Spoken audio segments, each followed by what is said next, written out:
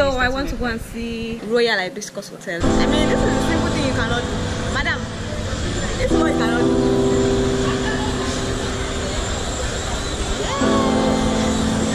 You guys still want to see the movie? Will you be sharing my seat? Yeah, I'm showing my six. No, it's for five and for six. Um, what do you get? Uh, you get petals on the floor like this.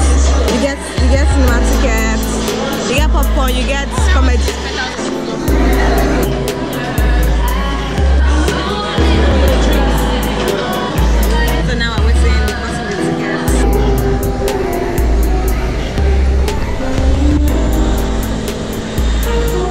Hi guys, welcome to my channel. It's so good to be back with you guys. It's the first time I'm doing a movie review, so I need you to please thumbs up if you like this video. I'll be doing a movie review of Royal Hibiscus Hotel. Royal Hibiscus Hotel is by EbonyLife TV.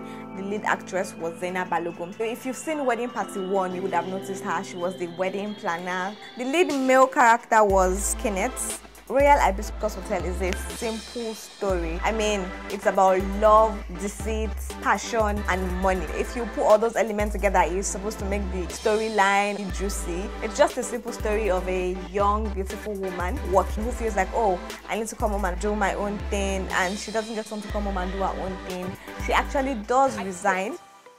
The beginning was quite fast. Another thing that struck me was how everybody's role was simple. It was not a movie that had so many actors jam-packed in it. No. Yes, some of them had dialogue, some of them did not have dialogues, but it was interesting. The, the costume fell in line with it. It is a comedy romance, so you have a lot of laughter. It makes you laugh from the dressing to the language to the setting. You need to check out Rachel Oniga, who is Ope's mom.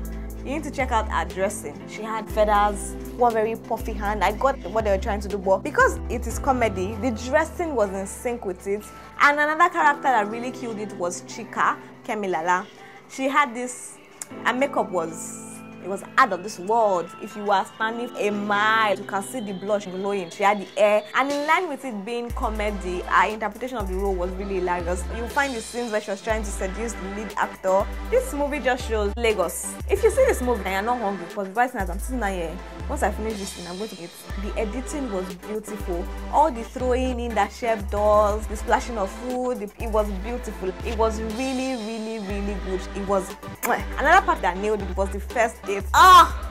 I mean, I'm big on romance and all those things and dates. So for the first date, Ope goes out with the lead actor, and then who she later finds out that oh, okay, the part of the deceit is that he's buying her father's property, but she does not know. It's just an interesting story. Now they had this dinner at Eko Signature. The view, this was just beautiful, just both of them. Her red dress was stunning, and like I said earlier, Olu Jacobs and Joke Silva. And I didn't know that they were in the movie until I got to their scene. So I was asking myself, what role are they playing? Are they like grandparents to Ope or they are guests in the hotel?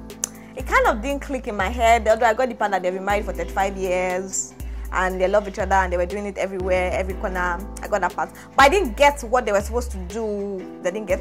And one recurring theme, if you compare it with other Ebony Life movies they've done, and I'm comparing it with Wedding Party 1 and Wedding Party 2, is the fact that they always present this thing about couples whereby the wife knows nothing about the financial state of the family. She thinks they have money, but meanwhile, they are broke. In Wedding Party 1, you saw it. To her, they had the money. So when Ope comes back into Lagos from London, she starts planning a wedding for Ope. Sorry, darling.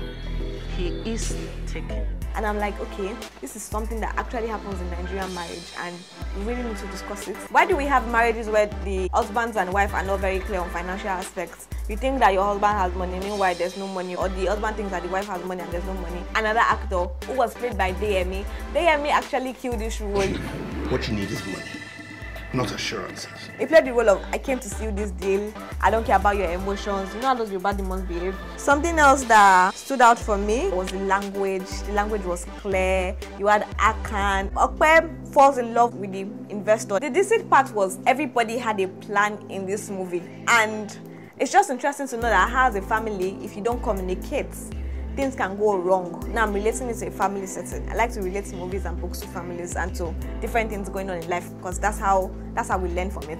If you don't communicate, everybody has a plan and an agenda. Ope is coming back to Lagos to work in her father's hotel because that's always been a dream. The father is selling the hotel without telling the mother, who he later told, but that's when Ope has already come back. The mother wants Ope to come back, not because Ope is going to pursue her dreams or follow her dreams, but the mother wants Ope to come back because she wants to marry Ope off. Another reoccurring theme in this movie, a Nigerian setting and the Yoruba family setting, is how mothers always put pressures on their daughter, no matter how well they are doing, to get married, how time is going, your mates are getting married, age is passing you by.